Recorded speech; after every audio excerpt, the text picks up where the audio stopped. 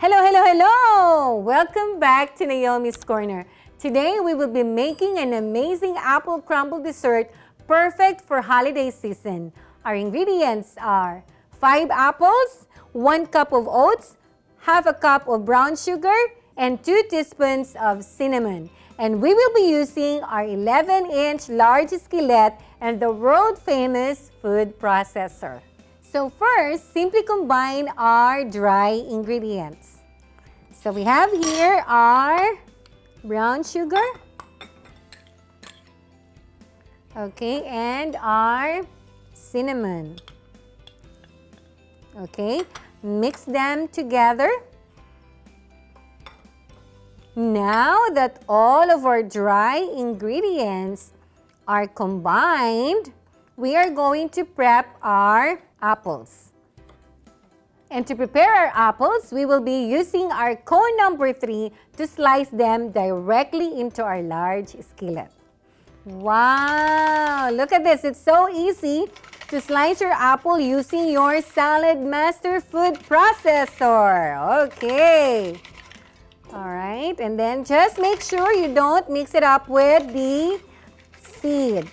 But you don't have to peel it. We wash it really good. Remember, we have all the vitamins and minerals right there in the peelings.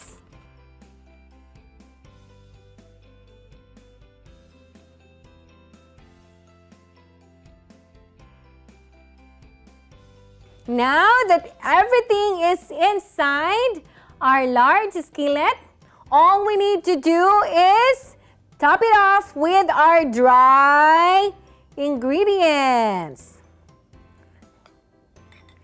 And look at that. Perfect for the holiday season. Yes. Okay. Now that we are ready, we can cook it now on top of the stove. Okay, and then we're going to set the temperature to medium heat. Now, once the vapor valve starts clicking, all you need to do is to reduce the heat from medium to low for like about 10 minutes and your delicious and amazing apple crumble dessert is ready.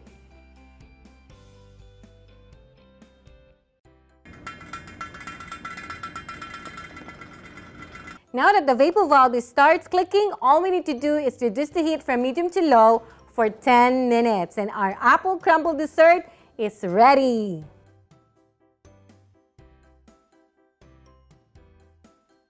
Now 10 minutes are up. We are ready to check on our apple crumble dessert.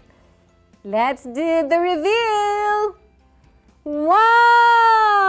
Smells amazing and looks delicious. Now you are ready to serve it with your favorite vanilla ice cream and enjoy your delicious and amazing apple crumble dessert.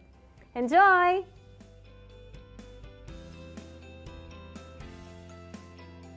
Don't forget to like and subscribe to Naomi's Corner for more delicious recipes using Saladmaster. Stay amazing!